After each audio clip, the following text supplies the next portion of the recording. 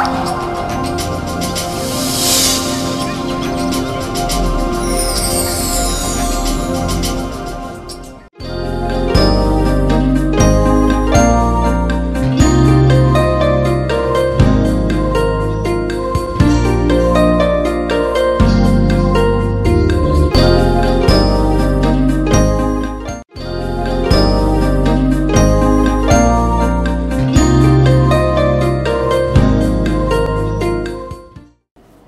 Four Jesus എന്ന ഈ പ്രോഗ്രാമിലേക്ക് എല്ലാ മാന്യപ്രേക്ഷകരെയും ഒരു പ്രഭാതത്തിലൂടെ സ്വാഗതം ചെയ്യുന്നു. കഴിഞ്ഞ ഒരു രാത്രി മുഴുവനും കർത്താവിന്റെ പരിപാലനത്തിലായിരിക്കാൻ ദൈവം നമുക്ക് കൃപ നൽകി. നാം ഇതുവരെയും കണ്ടിട്ടില്ലാത്ത നല്ലൊരു പ്രഭാതം കർത്താവ് നമുക്ക് ദാനമായി നൽകി തന്നതിനാൽ നമുക്ക് സ്തോത്രം ചെയ്യാം. ഈ ദിവസം കർത്താവിന്റെ വചന കേൾവി നമ്മുടെ ജീവിതത്തിൽ വളരെ ദൈവപ്രവർത്തിക്ക് കാരണമായി തീരും.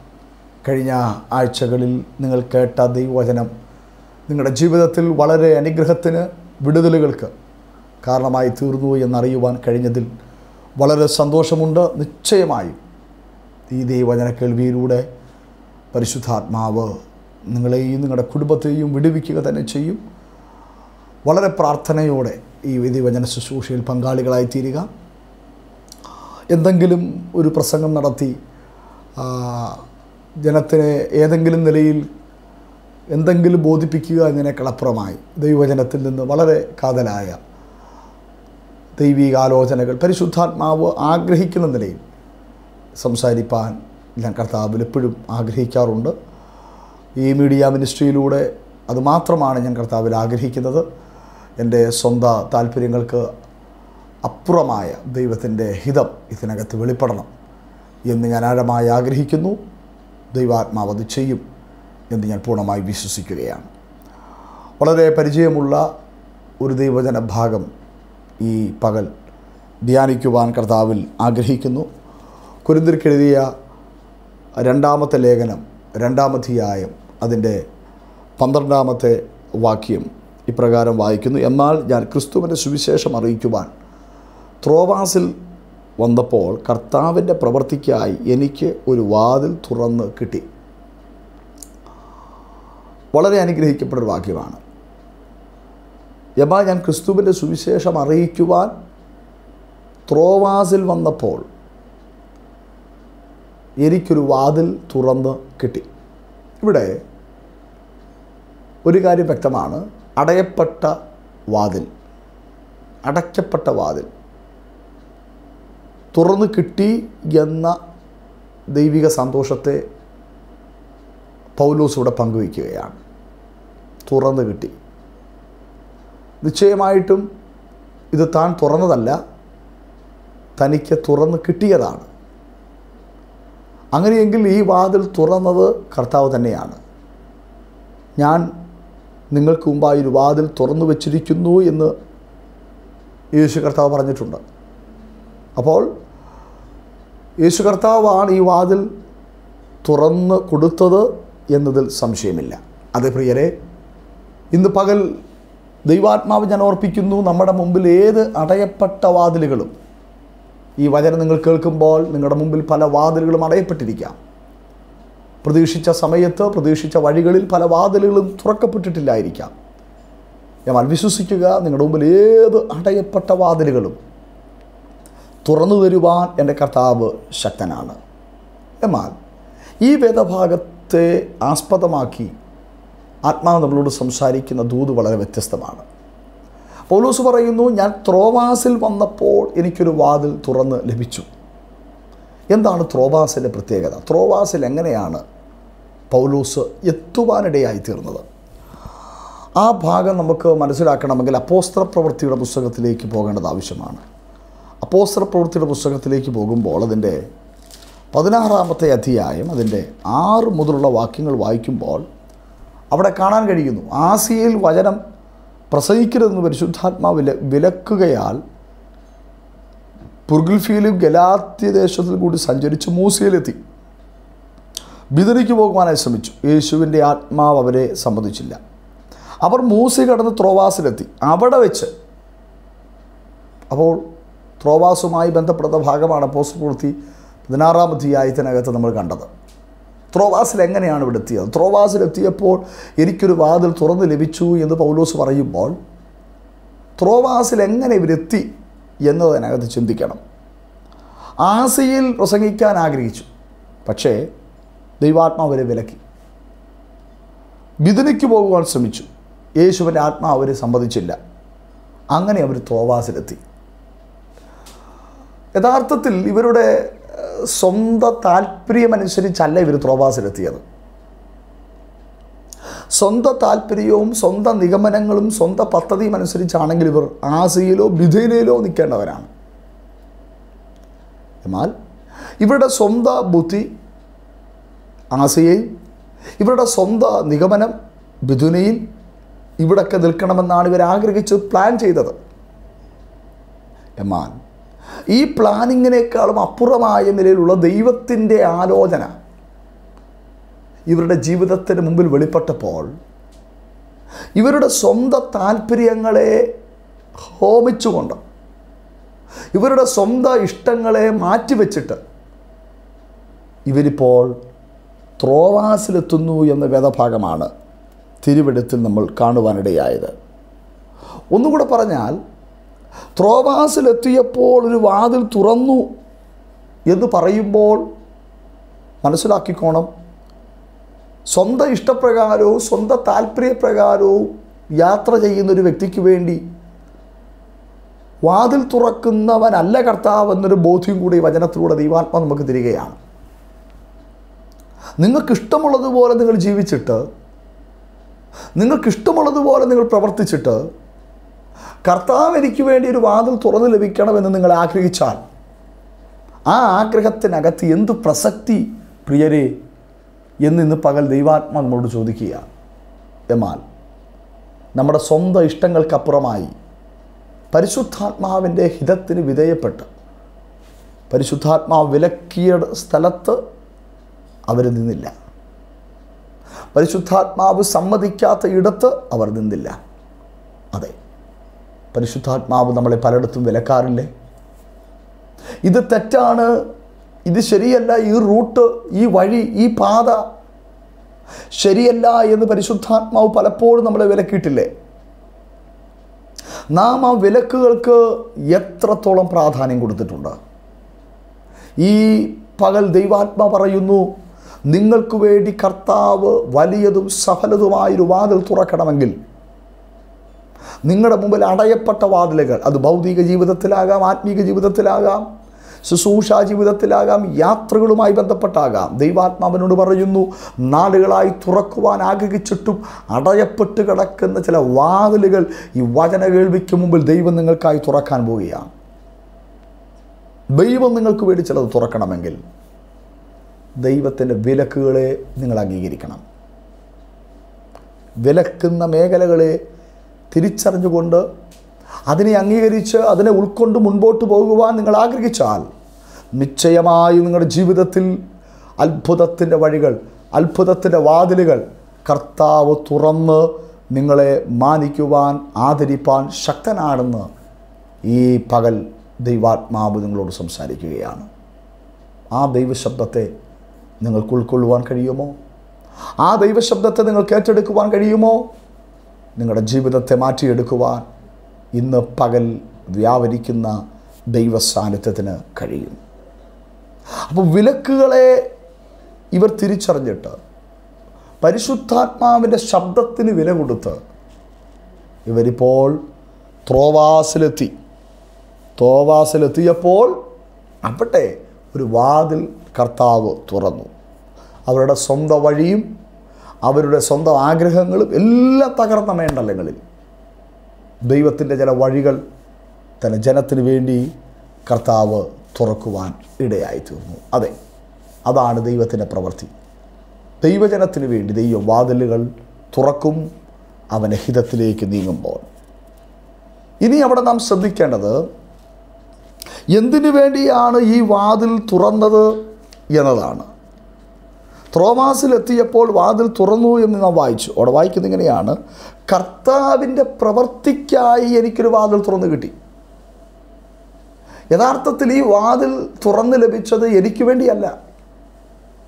എനിക്കാണ് വാതിൽ തുറന്നതെങ്കിലും ഇത് എനിക്ക് വേണ്ടിയല്ല.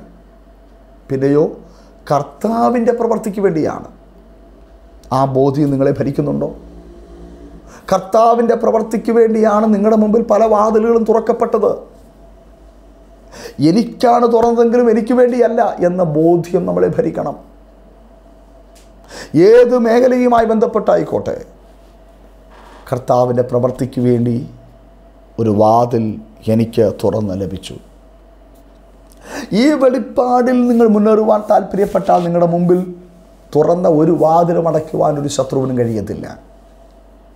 കാരണം തുറക്കപ്പെട്ട വാതിൽ കർത്താവിന് വേണ്ടി പ്രവർത്തിക്കുവാൻ നിങ്ങൾ ആഗ്രഹിച്ചാൽ അതിനെ സംരക്ഷിക്കേണ്ട ദൗത്യം കർത്താവിനാണ് എന്നുള്ള ബോധ്യം ഈ പകൽ നിങ്ങളുടെ ഹൃദയത്തിൽ വരേണ്ടത് ആവശ്യമാണ് ദൈവാത്മ പറയുന്നു. ഇപ്പം കർത്താവിന്റെ പ്രവൃത്തിക്കായി ഒരു വാതിൽ തുറന്ന് ലഭിച്ചു. വേഗത്തിൽ നിങ്ങൾക്ക് ആ ഭാഗത്തെ മനസ്സിലാക്കത്തക്ക നിലകളിൽ എസ്തേറിന്റെ പുസ്തകത്തിൽ നിന്ന് ചില കാര്യങ്ങൾ ഞാൻ ഓർപ്പിക്കുവാൻ കർത്താവിൽ ആഗ്രഹിക്കുകയാണ്. നാലാമത്തെ അധ്യായത്തിൽ കടന്നു വരുമ്പോൾ നമുക്കറിയാം എസ്തേറിന്റെ പുസ്തകം വളരെ പരിചിതമായ പുസ്തകമാണ്. അവിടെ വസ്തി എന്ന രാജ്ഞിയെ നീക്കം ചെയ്തിട്ടാണ് എസ്തേറിനെ ആ രാജ്യസ്ഥാനത്തേക്ക് ദൈവാത്മാവ് കൊണ്ടുവന്നത് എന്ന് നമുക്കറിയാം. ഒരിക്കലും യോഗ്യതയുള്ളവളെ അവിടുന്ന് മാറ്റി യോഗ്യതയില്ലാത്തവളെ ആ സ്ഥാനത്തേക്ക് കൊണ്ടുവന്ന ഒരു വലിയ ദൈവകൃപ എസ്തേറിന്റെ പുസ്തകത്തിനകത്ത് നമുക്ക് കാണാൻ കഴിയും. ദൈവത്തിനൊരാളെ മാനിക്കുന്നതിന് അവരുടെ ജന്മപശ്ചാത്തലമോ കുടുംബ പശ്ചാത്തലമോ ഒന്നും ഒരു വിഷയമല്ല എന്ന് ഒരു വലിയ ബോധ്യമാണ്. എസ്തേറിന്റെ പുസ്തകത്തിലൂടെ പരിശുദ്ധാത്മാവ് നമുക്ക് തരുന്നത്. അവൻ ആരെയും എവിടെയും തന്റെ പ്രവൃത്തിക്ക് വേണ്ടി ഉപയോഗിക്കുവാനായിട്ട് കഴിയും എന്നുള്ള ഒരു വലിയ ബോധ്യം. എസ്തേറിന്റെ പുസ്തകത്തിൽ നാലാമധ്യായത്തിലേക്ക് വരുമ്പോൾ ദൈവജനം യഹൂദ സമൂഹം നേരിടുന്ന വലിയൊരു പ്രതിസന്ധിയുടെ നടുവിൽ മൃദേക്കായ് എന്ന ദൈവമനുഷ്യൻ യഹൂദന്മാരെ രക്ഷിക്കുവാനായിട്ട് ആഗ്രഹിക്കുന്ന വേദഭാഗമാണ്. താൻ പട്ടണത്തിന് നടുവിൽ ചെന്ന് കൈപ്പോടെ അത്യുച്ചത്തിൽ നിലവിളിക്കുകയും യഹൂദന്മാർക്ക് ഇപ്പോൾ ഉണ്ടായിരിക്കുന്ന പ്രതിസന്ധിയെ രാജ്ഞി പദവിയിലിരിക്കുന്ന എസ്തേറിനെ അറിയിക്കുകയും ഈ എസ്തേർ രാജാവിലേക്ക് ഈ കാര്യം ബോധിപ്പിക്കുകയും ഒരു ഉദാഹരണവും രക്ഷയും രാജാവിൽ നിന്ന് പ്രാപിച്ചെടുക്കുകയും ചെയ്യേണ്ട ഒരു വലിയ ദൗത്യ നിർവഹണത്തിലാണിപ്പോൾ എസ്തേർ രാജ്ഞി ആയിരിക്കുന്നത്. നാലാമധ്യായത്തിന്റെ പതിമൂന്നാം വാക്യം മുതൽ വായിക്കുമ്പോൾ അവിടെ കാണുന്ന വാക്കുകൾ വളരെ പ്രത്യേകമാണ്. നിയമപ്രകാരം രാജാവിന്റെ അടുക്കിലേക്ക് പോകാഞ്ഞാൽ എന്ന് വെച്ചാൽ രാജ്ഞിയാണെങ്കിൽ പോലും രാജാവിന്റെ അടുക്കൽ പോകുവാൻ രാജാവ് അനുവദിച്ച ദിവസങ്ങളുണ്ട്. ആ ദിവസം മാത്രമേ ചെല്ലാൻ കഴിയൂ. അല്ലാത്ത പക്ഷം രാജാവിന്റെ ചെങ്കോൽ നീട്ടാതിരുന്നാൽ അവൾ നിശ്ചയമായും കൊല്ലപ്പെടുമെന്നതിൽ സംശയമില്ല. ജീവൻ പോലും അപകടത്തിലാകും എന്നതിൽ സംശയമില്ല. അങ്ങൊരു വലിയ പ്രതിസന്ധിയുടെ നടുവിൽ അവൾ പറയുന്ന മറുപടിയാണ്. പ്രത്യേകായി എസ്തേറിനോട് മറുപടി പറയാൻ കൽപ്പിച്ചത് നീ രാജധാനി ഇരിക്കിയാൽ എല്ലാ യഹൂദന്മാരും വെച്ച് രക്ഷപ്പെട്ടു കൊള്ളാമെന്ന് വിചാരിക്കണ്ട. നീ രാജധാനിയിലാണ് ഇരിക്കുന്നത് കൊണ്ട് നീ രക്ഷപ്പെടുമെന്ന് നീ ചിന്തിക്കണ്ട. ഈ സമയത്തും ഇണ്ടാതിരുന്നാൽ യഹൂദന്മാർക്ക് മറ്റൊരു സ്ഥലത്തുനിന്ന് ഉത്താണ്ടവും രക്ഷയും ഉണ്ടാകും. എന്നാൽ നീയും നിന്റെ പ്രതിഭവനും നശിച്ചു പോകും. ഇങ്ങനെയുള്ള കാലത്തിനായിട്ടല്ലയോ നീ രാജസ്ഥാനത്ത് വന്നിരിക്കുന്നത്. ശ്രദ്ധിക്കുക. എസ്തേർ എന്ന് പറയുന്ന യൗവനക്കാരിത്തിയായ സ്ത്രീയെ അഗസ്വരോസ് രാജാവിന്റെ കൊട്ടാരത്തിലെ രാജ്യസ്ഥാനത്തേക്ക് സർവശക്തനായ ദൈവം കൊണ്ടുവന്നത് എന്തിനു വേണ്ടിയായിരുന്നു? അവിടെ മുമ്പിൽ ഒരു വലിയ വാതിൽ ദൈവം തുറന്നു കൊടുക്കുകയാണ്. രാജ്ഞി പദവി എന്ന വാതിൽ. ഒരിക്കലും അർഹതയുള്ളൊരു വാതിലല്ല അവർക്ക് തുറന്ന് ലഭിച്ചത്. ആർക്കും അവിടെ മുമ്പിൽ തുറക്കുവാൻ കഴിയാത്ത അനുഗ്രഹിക്കപ്പെട്ട ഒരു പദവിയുടെ വാതിലാണ് എസ്തേറിന് വേണ്ടി സ്വർഗം തുറക്കുവാനിടയായത്. എന്നാൽ ഒരു കാര്യം എസ്തേറിനെ മൃതയ്ക്കായി അറിയിക്കുന്നു. നിന്റെ മുമ്പിൽ ഈ വാതിൽ തുറന്ന് ലഭിച്ചത് നിനക്ക് വേണ്ടിയല്ല. നീ രാജധാനിയിൽ സുഖത്തോടെ നീ രാജധാനിയിൽ സുഖിച്ച് സന്തോഷത്തോടെ രാജ്യപദവിയിൽ ഇരിക്കുവാനല്ല നിന്റെ മുമ്പിൽ നീ പ്രതീക്ഷിക്കാത്ത ഒരു വാതിൽ ദൈവം നിനക്ക് തുറന്ന് തന്നത് എന്നുള്ള ബോധ്യം മൃതേക്കായി യസ്തേറിനെ അറിയിക്കുകയാണ്. ഈ ബോധ്യത്തെ അവൾക്ക് ആദ്യമൊന്നും ഉൾക്കൊള്ളുവാൻ കഴിയുന്നില്ല. അവൾ പല ഉപാധികൾ പറയുന്നു. എനിക്കിപ്പോൾ രാജാവിന്റെ അടുക്ക് ചെല്ലാൻ കഴിയുന്നില്ല. ചെന്നാൽ പ്രശ്നങ്ങളുണ്ടാകും. പക്ഷെ വീണ്ടും പുറത്തേക്കായി അവളെ ഓർപ്പിക്കുകയാണ്. നിനക്ക് മുമ്പിൽ ഈ വാതിൽ കർത്താവ് തുറന്നു തന്നത് ഒരു പ്രത്യേക ഉദ്ദേശത്തോടുകൂടെയാണ്. ഒരു പ്രത്യേക പദ്ധതിയോടുകൂടെയാണ് വാതിൽ തുറന്നു തന്നത്. നിന്റെ സംരക്ഷണമോ നിന്റെ കഴിവുകളോ നിന്റെ യോഗ്യതകളോ ഒന്നും വെളിപ്പെടുത്തുവാനല്ല. ഇതിനായിട്ടല്ലയോ നിന്നെ ഈ സ്ഥാനത്തേക്ക് കൊണ്ടുവന്നതെന്ന് നമ്മളുടേക്കായി പറയുന്നത്. അതെ വാത്സല്യമുള്ളവരെ നമ്മളെ പലപ്പോഴും കർത്താവ് പല സ്ഥാനത്തേക്ക് കൊണ്ടുവന്നതിന്റെ പിൻപിലെ ഉദ്ദേശം നാം പലപ്പോഴും തിരിച്ചറിയാതെ പോവുകയാണ്. യോഗ്യതയില്ലാത്ത സ്ഥാനത്തല്ലേ സഹോദര ദൈവം നിന്നെ ശുശ്രൂഷയ്ക്ക് വേണ്ടി കൊണ്ടുവന്നത്? അർഹതയില്ലാത്ത സ്ഥാനത്തല്ലേ സഹോദരി നിന്നെ ശുശ്രൂഷയ്ക്കായി ദൈവം കൊണ്ടുവന്നത്? അർഹതയില്ലാത്ത സ്ഥാനത്തല്ലേ സഹോദര നിന്റെ ജീവിതത്തിൽ ദൈവം ജോലിയും നന്മകളും പുതുവഴികളും തുറന്നു വന്നത് നീ ഇന്ന് പാർക്കുന്ന ഭവനം നീ ഇന്ന് ഓടിക്കുന്ന വാഹനം. നിനക്ക് ദൈവം തന്ന കുടുംബജീവിതം നിന്റെ മുമ്പിൽ പല വാതിലുകളും വഴികളും ദൈവം തുറന്നത് അർഹതയില്ലാത്ത സ്ഥാനത്തല്ലേ? ദൈവമല്ലേ എന്റെ ജീവിതത്തിൽ പ്രവർത്തിച്ചത്? നിന്റെ വിദ്യാഭ്യാസം കൊണ്ടാണോ? നിന്നേക്കാൾ വിദ്യാഭ്യാസമുള്ള എത്ര പേർ ജോലിയില്ലാതെ ഏതൊക്കെ പ്രതിസന്ധികളകത്ത് അകപ്പെട്ട് നിൽക്കുന്നു? വിദ്യാഭ്യാസം കൊണ്ടാണോ നീ മാനിക്കപ്പെട്ടത്? നിന്റെ കഴിവ് കൊണ്ടോ നിന്റെ കുടുംബ പശ്ചാത്തലം കൊണ്ടാണോ നീ മാനിക്കപ്പെട്ടത്? ഇന്ന് പകൽ നിങ്ങളുടെ ഹൃദയത്തിനകത്തൊരു വെളിപ്പാട് വരട്ടെ. എന്തെങ്കിലും കിട്ടുകഴിയുമ്പോൾ എല്ലാം മറന്നു പോകുന്നത് തെറ്റ്. ജോലി കിട്ടിക്കഴിയുമ്പോൾ ദൈവവും വേണ്ട ചർച്ചും വേണ്ട ദൈവദാസനും വേണ്ട ആരും വേണ്ടാത്ത ഒരു നീക്കം അപകടമാണ്. ഒരു നന്മയായി കഴിയുമ്പോൾ എല്ലാം മറന്നു പോകുന്ന ഒരവസ്ഥ അപകടമാണ്. ദൈവത്തിന് നിങ്ങളെക്കുറിച്ചുള്ള പദ്ധതി തിരിച്ചറിയാതെ നിങ്ങൾ യാത്ര ചെയ്യരുത്. ദൈവത്തെ മറന്ന് ജീവിക്കരുത്. നല്ലൊരു വിദ്യാഭ്യാസത്തിന്റെ വഴി ദൈവം നിനക്ക് തുറന്നു തരുമ്പോൾ അതിലൂടെ നല്ല മാർക്ക് ദൈവം നിനക്ക് തരുമ്പോൾ നല്ല ജോലി ദൈവം നിനക്ക് തരുമ്പോൾ അതിന്റെ പിൻപിലുള്ള ദൈവത്തിന്റെ ഉദ്ദേശത്തെ തിരിച്ചറിയാതെ പോകരുത്. ഒരുപക്ഷെ മറ്റുള്ളവർക്ക് അത് ചിന്തിക്കേണ്ട കാര്യമില്ല. പക്ഷെ ഒരു ദൈവ പൈതൽ മൃതക്കായ ഒരു യഹൂദ സ്ത്രീയാണ്. ഒരു ദൈവ പൈതൽ അതിനെക്കുറിച്ച് ചിന്തിക്കണം. എല്ലാവരും ചിന്തിക്കുന്നത് പോലെ ചിന്തിക്കാനുള്ളവരോ? എല്ലാവരും പ്രവർത്തിക്കുന്നത് പോലെ പ്രവർത്തിക്കാനുള്ളവരോ? എല്ലാവരെ പോലും ജീവിക്കാനുള്ളവരോ അല്ല ഒരു ദൈവ പൈതൽ എന്ന ബോധ്യം നിങ്ങളുടെ ഹൃദയത്തിലേക്ക് വരട്ടെ.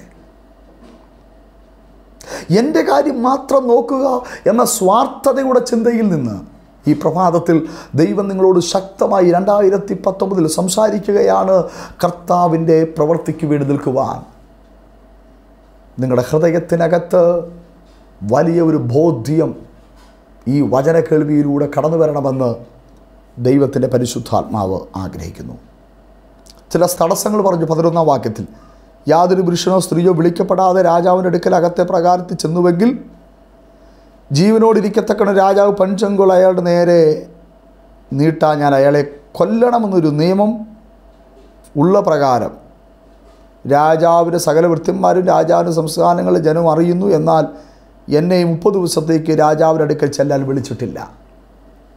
മുപ്പത് ദിവസത്തേന് എനിക്ക് നിയമം അനുകൂലമല്ല. പ്രതികൂലമാണ് നിയമം. അത് ഞാൻ പാലിച്ചില്ല എങ്കിൽ എന്റെ ജീവൻ നഷ്ടപ്പെടും. ഇങ്ങനെ ഒരു സാഹചര്യത്തിലാണ് ഇവളെ ഇവരുടെ മുമ്പിൽ ഒരു വാതിൽ തുറന്ന് ലഭിച്ചത് എന്തിനു വേണ്ടിയാണെന്നുള്ള ബോധ്യം മുറത്തേക്കായി കൊടുക്കുമ്പോൾ അവിടെ തീരുമാനത്തെ അവൾ മാറ്റുകയാണ്.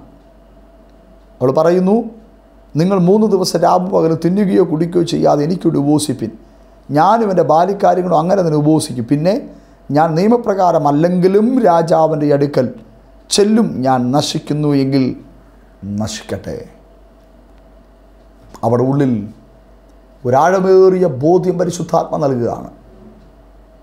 എനിക്ക് വേണ്ടി വാതിൽ തുറന്നു തന്ന കർത്താവിന് വേണ്ടി നിൽക്കാനുള്ള സമയമാണിത്. അവിടെ എന്റെ ജീവന് പ്രാധാന്യം കൊടുത്താൽ പോരാ. എന്റെ നിലനിൽപ്പിന് പ്രാധാന്യം കൊടുത്താൽ പോരാ. എന്റെ സുഖത്തിന് പ്രാധാന്യം കൊടുത്താൽ പോരാ. ഇപ്പോഴാണ് ഞാൻ നിൽക്കേണ്ടത്. ഇത് കഴിഞ്ഞിട്ടൊരു പക്ഷെ നിൽക്കേണ്ട ആവശ്യമില്ല. എന്നുള്ളൊരു വലിയ ബോധ്യം എസ്തേറിനകത്ത് വ്യാപിച്ചപ്പോൾ അവൾ വരാൻ സാധ്യതയുള്ള സകല ഭവിഷ്യത്തുകളെയും മറന്നു. അവൾ ധൈര്യത്തോടെ രാജാവിന്റെ അടുക്കിലേക്ക് ചെല്ലുവാൻ താല്പര്യപ്പെടുന്നതായി ദൈവവചനത്തിനകത്ത് കാണുവാൻ കഴിയുന്നു.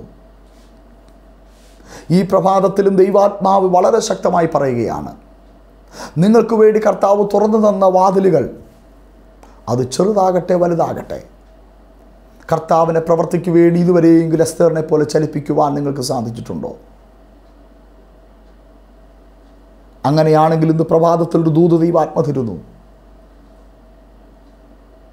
വസ്തി രാജ്ഞിക്ക് തന്റെ രാജ്യസ്ഥാനം നഷ്ടപ്പെട്ടു പോയി എന്നാൽ അതുപോലെ എസ്തേറിന് രാജ്യസ്ഥാനം നഷ്ടപ്പെട്ടതായി കാണുന്നില്ല. അതിനു നേരെ ഹാമാൻ എന്തെല്ലാം നീക്കങ്ങൾ നടത്തി കാണും? പക്ഷെ നീക്കമൊന്നും വിജയിച്ചില്ല. എന്താണ്?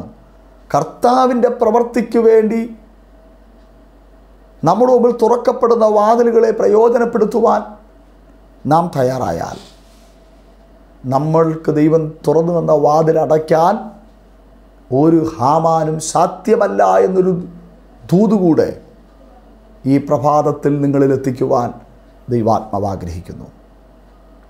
അതെ. പലരുടെയും മുമ്പിൽ അടയപ്പെട്ടതാകാം.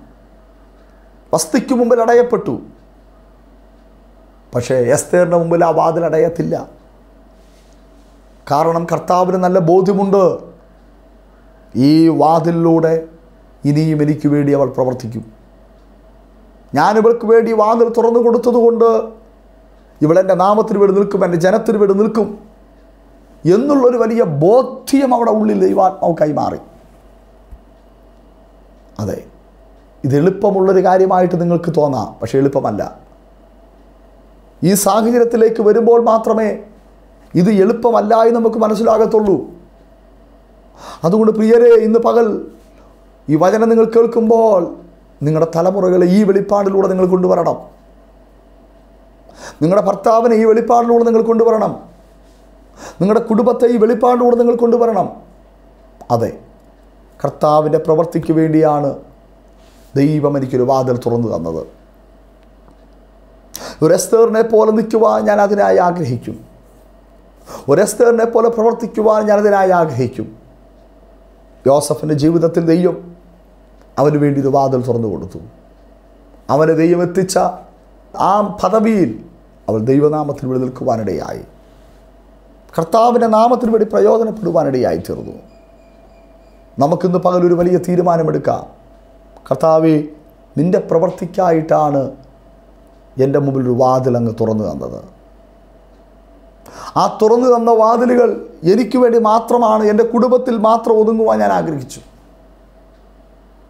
എന്നാൽ അതിന്റെ പിൻപിലുള്ള അങ്ങയുടെ ഉദ്ദേശത്തെ ഞാൻ ഗ്രഹിക്കുന്നു കർത്താവ്. അതിനുള്ള അങ്ങയുടെ പദ്ധതിയെ ഞാൻ ഗ്രഹിക്കുന്നു. ഞാനിപ്പോൾ മിണ്ടാതിരുന്നാൽ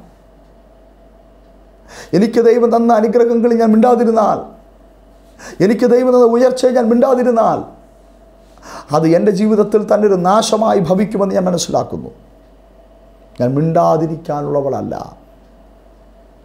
ഞാൻ വെറുതെ ഇരിക്കാനുള്ളവളല്ല. എനിക്കൊത്തിരി കാര്യങ്ങൾ തുറക്കുവാനുണ്ട്.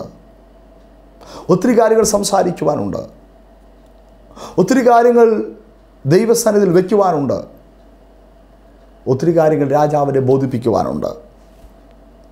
ഈ ഒരു ബോധ്യത്തിൽ മുൻപോട്ട് പോകുവാൻ നിങ്ങൾക്ക് സാധിക്കുമെങ്കിൽ നിശ്ചയമായും വലിയ പ്രവർത്തികളെ ദൈവാത്മാവ് നിങ്ങളുടെ ജീവിതത്തിൽ അയക്കുവാൻ ശക്തനാണ്. അതെ. ദൈവം നിങ്ങൾക്ക് വേണ്ടി വാതിലുകൾ തുറന്നു തന്നത് കർത്താവിന്റെ പ്രവർത്തിക്ക് വേണ്ടി നിൽക്കുവാനാണ്. അഞ്ചാമധ്യായം പഠിക്കുമ്പോൾ